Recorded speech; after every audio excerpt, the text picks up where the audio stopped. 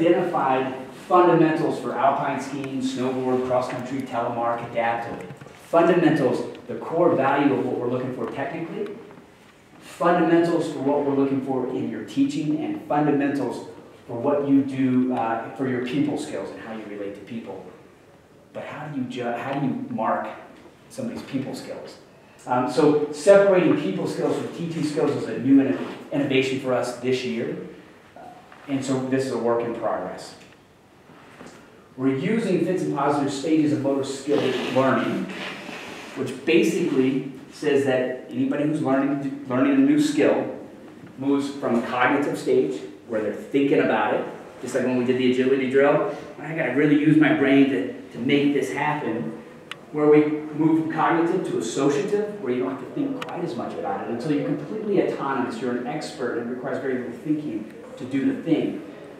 Those are basically the stages, and then we assess those stages or throw a score on those stages, right? So if you were to perform a task, let's say there's a, a level one exam, you're doing a V1, and it really, like you really have to think, like you can just see that it's not a fluid movement, that you don't really own it, you're gonna probably score a one or two. Until you, that's the cognitive stage.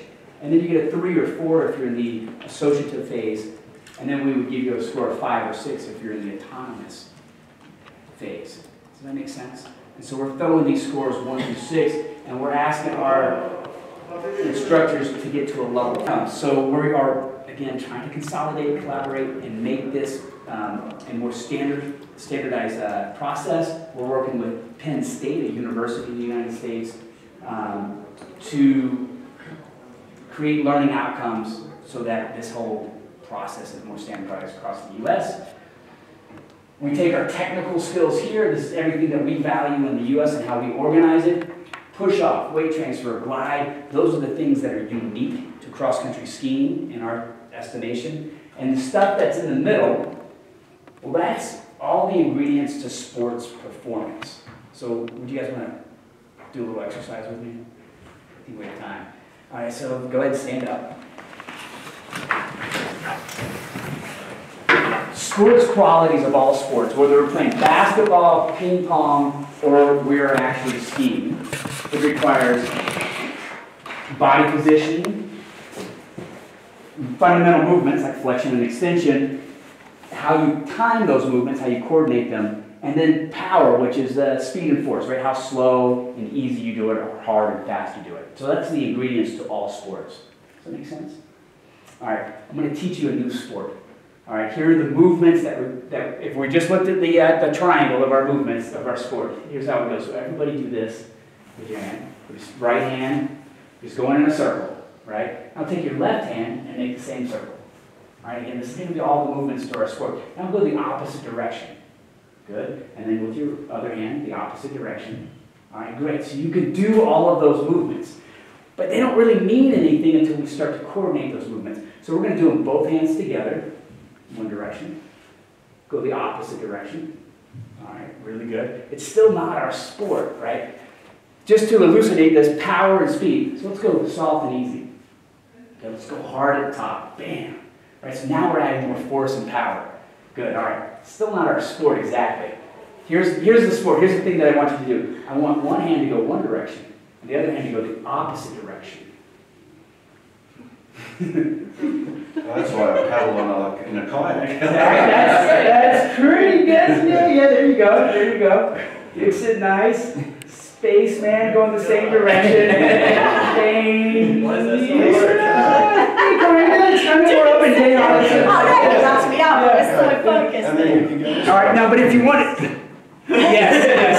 All right, now, if you want to be good at this sport, right? Because that's like that's like having one gear. You want to be able to do this both directions, right? You want to be able to do it slow and then add power to it. You want to own these movements, all of these sports qualities here in the middle of the triangle to produce, to then take this out into the field of play, whatever that is.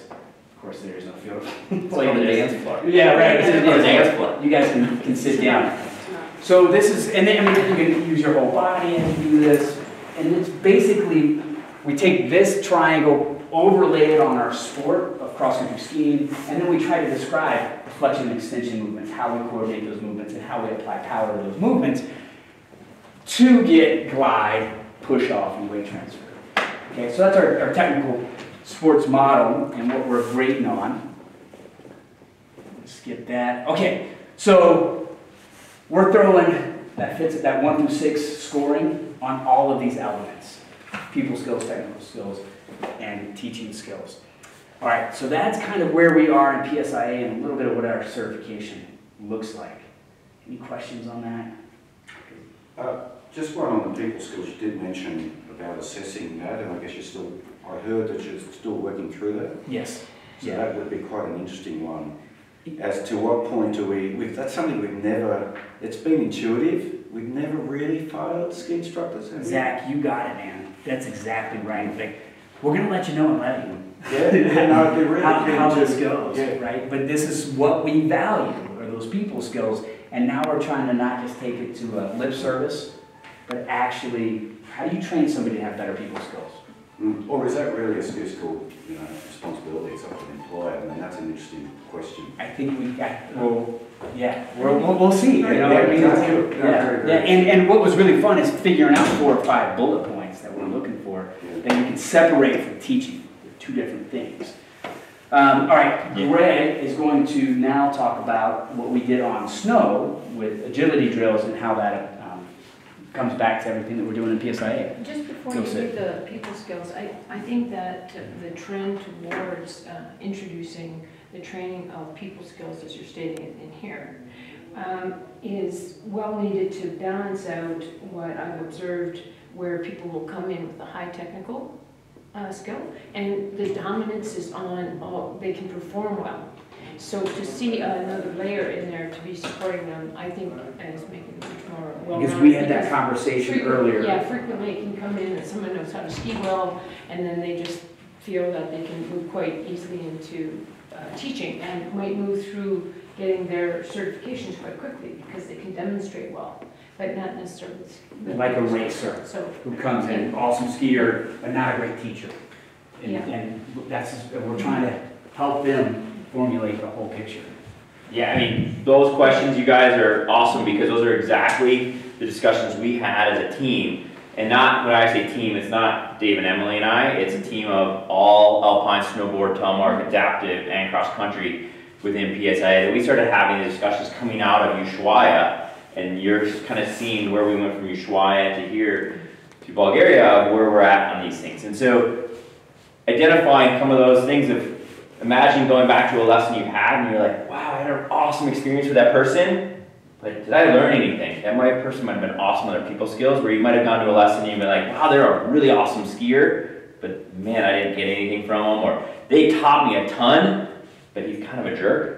That's kind of the person that doesn't have much uh, people skills. And so we started saying, all right, ideal, perfect instructor is going to have all of those. And this is where we came up with these fundamentals, and I'm going to actually dive into those fundamentals and what we did on the snow, and how, as cross country, what we're doing. Because right now, unfortunately, you guys are missing an entire presentation on people skills, an entire presentation on um, teaching skills, um, or there might be a time to get over to one of those at 450. Um, that you're going to go deeper into that. So hopefully, you have a person from your delegation going to those, and you can share back on it. But we're looking at how does those agility drills that we did on snow help us as instructors of instructors teach those teaching skills, people skills, and technical skills to our instructors before they go out and actually either take one of our exams or eventually go out and teach um, some students. So let's quickly, and I'm really going to fly through some of these things because we're going to be short on time and I want to get to more of the meat of it. Um, we're going into the principles of skill acquisition as instructors. We're there to help and assist our students learn new skills, retain those skills for a long period of time, and then be able to transfer those skills to something else that they want to apply to. So it doesn't even always need to be the skill of, of you know, stepping sideways in our agility drills, but how does that translate into um, actually skiing? So we want to have that. That's kind of our, our role as an instructor. We talked a lot about open and closed environments and open and closed tasks, just to kind of bring that into that skill acquisition. A closed environment is any environment that is really predictable. Okay, being on snow is already an open environment versus bowling. It's a really closed environment. Um, but we can have a variation of closed and open in there as well as their tasks as we go through. Um, we also talk about open environments, and the more open the environment is, the higher level of skill acquisition that happens, and the longer the retention that happens. So again, more openness, more variability that comes into there, more movement patterns that we can link to it, gives our students the ability to change and go forward and adapt to what they need to learn and retain that information they're going forward. So again, a good graphic of showing closed and open. There's a spectrum of every drill and task and learning environment we're in is going to be either some form of closed or some form of open. A lot of times we start with very closed drill, dry land, standing and being in our body position. We might put on our skis. Now this makes it slightly more open. Skiing in the track is a very closed drill compared to skating on the side track versus doing our agility drills or going and doing a powder run on, a, on your cross country skis or whatever it is. So all of those fit into that agility or into that spectrum of open and closed where we're trying to get people to that open task for better skill acquisition for the long-term retention of your movement patterns. Okay? So like I said, we're doing it through agility drills. Um, so what does that really mean? Just to kind of give you a context before that, so we're all on the same page. Agility drills come from strength and conditioning world. An agility drill is anything that requires us to accelerate, decelerate, or change direction while keeping our body position in the same movement. So we want to be effective and efficient in that movement and then changing its directions. Think about it as a football player having to stop and cut. Okay, so we're taking that from the dry land world of footballers, maybe track and field people, to the snow and why we're doing that. So what does agility drills do or train? What does it do for us? It improves our balance. How many people here know that as cross-country skiers, balance is probably our number one problem. So we're really working on that. We're working on some of that mind-body connection. We're wiring into new motor pathways. We are enhancing our proprioception, getting our kinesthetic awareness, so we know that visual perception as well. So we have a better reaction time, so we can re relax and re um, react to that open environment that's coming at us. So we learn and move forward and have that skill acquisition longer. Um, let's play this. This is you guys as um, we are starting to use this, and as, as this is playing, like I said, we will connect agility drills to our education of our instructors. Um, so this is some agility drills that we're doing at instructor clinics now. And like I said, we're trying to bring this in, and I'm, this is what's going to happen after this, is I'm going to show you how it enhances both our technical skills knowledge, our people skills knowledge, and our teaching skills knowledge. And this is how, you know, we have those five, um, six fundamentals of each of those. Um, how do we teach those? And this is one way as instructors of instructors, we're getting to teach our um, instructors how to be better instructors using that learning connection model. So, different fun, it's different drills that um, we you guys did not see. Um, we just showed you guys three on snow, but there's a lot of different ones that you can do as we uh, ski around. It's a good place to practice agility skills in the biathlon range. Yeah, yeah, it was right at the biathlon range. Yeah, no shooting, don't worry, we weren't in there yet. Who's not good shooting? Yeah, no, yeah. So, all right, so agility drills, kind of gave you some back, background on skill acquisition um, and the agility drills. So let's, how does this tap into each one of these components of our learning connection model? All right, so first of all, it really helps us to get our instructors in tune to our technical skills.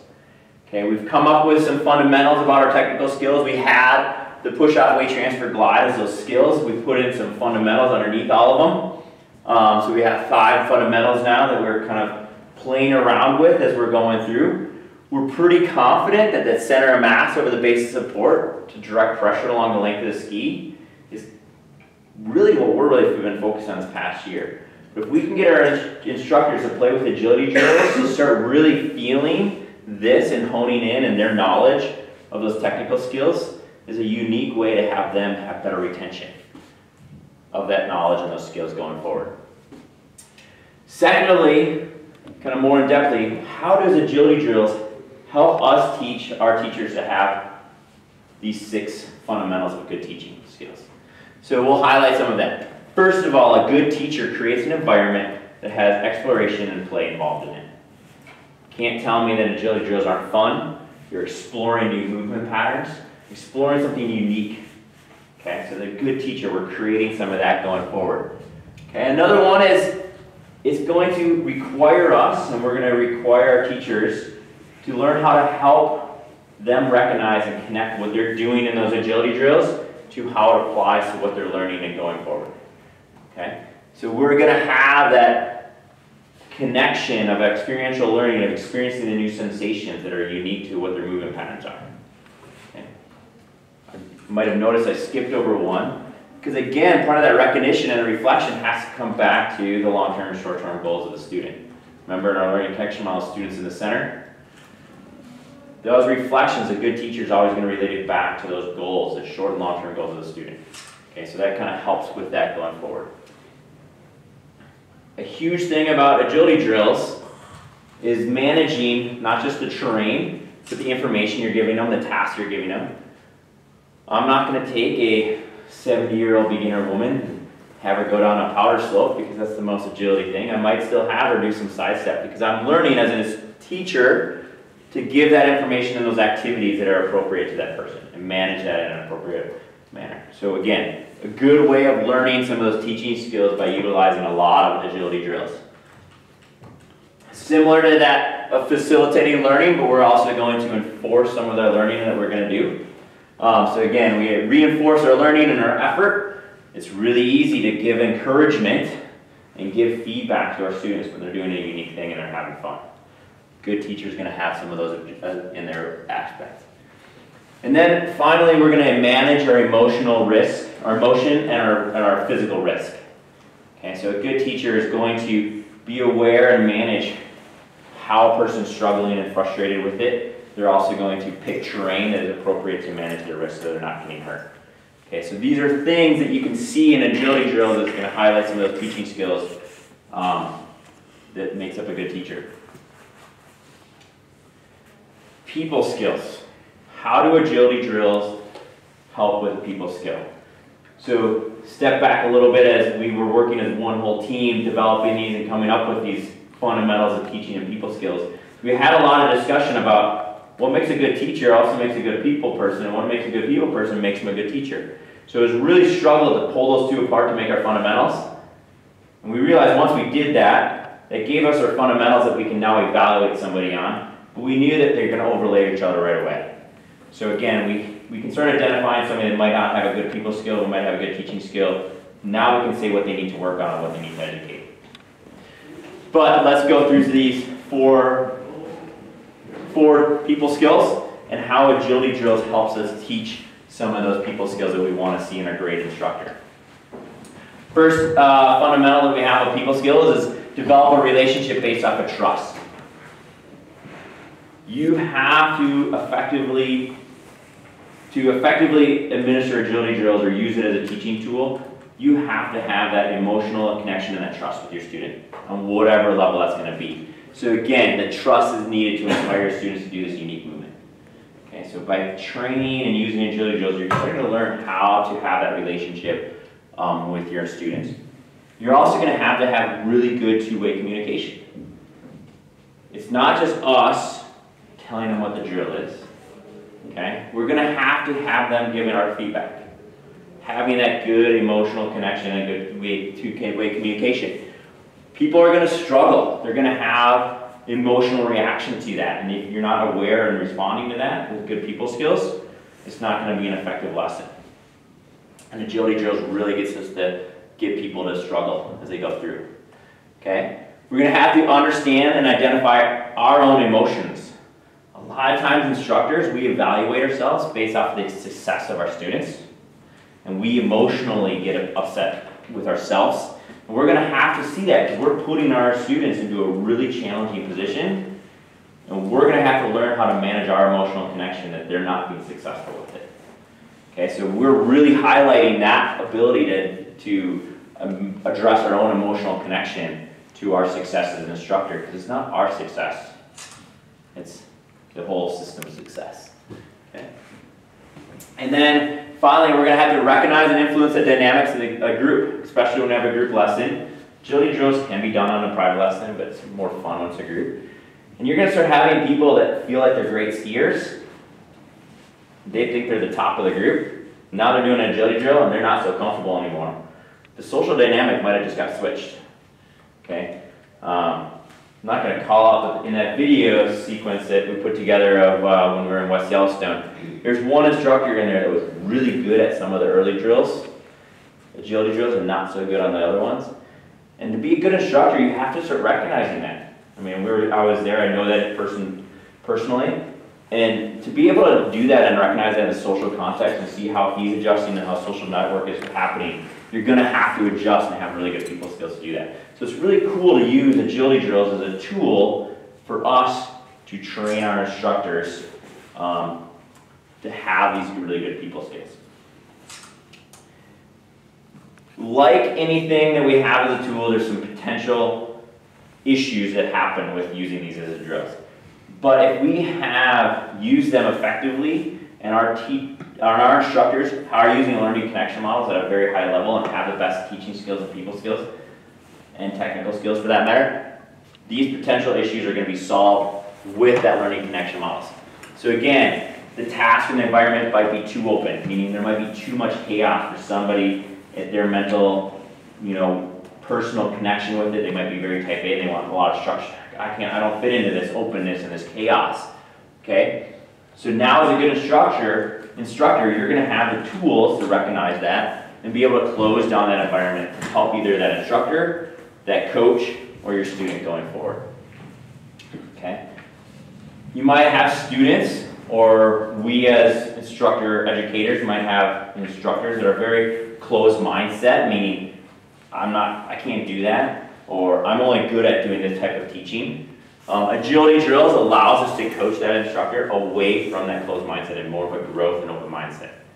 Utilizing those tools, utilizing more movement patterns. I'll never be able to have a balance to V2 very well. Well, let's let's try some of these agility drills where you open that mindset up, get them away from that. Gets into that growth mindset of, oh, I can balance better. Hey, now I might be able to do a V2 sprint type of thing. So it really allows us to identify those closed and open mindsets and move past some of those. Sometimes we have learning stop when the connection doesn't found there. Okay, so agility drills are one of those things where it's easy to start pulling out drills. If you have a menu of drills, it's really easy to just say, go, oh, I go to this one, and then I go to this one, and this go. We don't have that connection from one to the next one. So with agility drills, by highlighting different parts of those technical fundamentals and having our instructors really understand those technical fundamentals by utilizing some of our agility drills, they can start keeping that connection happening so learning can keep happening and skill acquisition can keep happening. So it's a good way to, to have them find those connections of agility drills back to their normal ski when they go on skiing. One thing that we were doing as instructors, we were having you guys do an agility drill, and we had you go ski it. Come back to do an agility drill, go and ski it. Always connecting that learning back to your normal skiing. Wrong direction. Okay? And finally, skier's ability is not going to be able to meet the task. We know that our instructors, as they go through our certification process, that their skiing ability increases. So their ability to do different and more complex drills is going to increase. So we're, by having that ability to scale our tasks and our, our, our agility drills, are going to be able to help our instructors, one, improve their own skiing, as well as their teaching and their knowledge about technical maneuvers going forward. So, kind of in a wrap, we brought and created, started with this learning connection models in Ushuaia. As an entire team, we've really started flushing out the teaching and the people skills. We found those fundamentals. We're establishing a universal kind of scorecard using Fitts and Posner's um, stages of learning with a one to six scale on that. We will, like David said, wait till Levi. Hopefully by then we will have something on how we actually truly are evaluating people and teach those skills. That is on the plate and moving forward, going I mean, live and active people are working on it right now. Um, and then we just wanted to bring in how in cross-country skiing we use agility drills to possibly get to those people where we're going to say, hey, how do we evaluate their teaching skills, their people skills? Because again, we can say what the fundamentals of a good teacher are, but how do we teach a good teacher to become one? Um, and it's, we also know that people can learn to be a, have better people skills as they go forward. Um, so, does anybody have any questions? I'll wrap it up there. That's great. Have you, um, have you ever come across the book, The Inner Game of Tennis? Which was it? The Inner Game of Tennis. I have personally have not, but this man right here is a And tennis book star. Tim was- Gall, yeah. That came out after that called Inner Game of Skiing. And Mhm. it's about, uh, it just sort of struck a chord with it, that comment around, um, you know, in those soft skills around mindset. And that's always an issue, I guess, for all of us, particularly as we start to go to more complex and difficult skills. And uh, they're really worth reading. They're very old books, they're produced in the 70s, but it, they were one of the first books about what they call this appreciative mindset. There's a whole learning theory, theories around appreciative mindset where you focus uh, on what's working, not what's not the deficit, on what's and reward and um, support what's going well as opposed to what's not working. Sometimes we, certainly as instructors, we might focus on the deficit or what's not happening as opposed to what is happening. So anyway, just uh, it just occurred to me that's really actually quite a, a fundamental area around that mindset issue. It, it can hold us back and hold our students back. Um, and often perhaps that's what maybe why they don't come back to the sport Mhm. because they don't get through that. You know, they have this negative view of themselves as skiers when they find how hard it is and, and struggle with it. Yeah. I don't know. Anyway, I just wanted to throw that out, and um, and I and I, you know, I think it's fantastic that you're building that into into your model there. And that's one of those, that is one of those skills as a good instructor that kind of bridges that people skills and teaching skills of, of being able to have that good effective two-way communication Mm. is a good people skill, but then also coming back and being able to reinforce what they're learning and their efforts. Okay, so identifying what they're doing well instead of always focusing on, hey, you need to check this, you need to check this. If that's your teaching strategy and your feedback strategy, it's going to turn somebody out pretty quickly. So having that ability to reward their efforts and their successes as well as finding ways to give them feedback on what their corrections are. So again, that's one of those when we were talking about very similar things and we had different analogies going forward.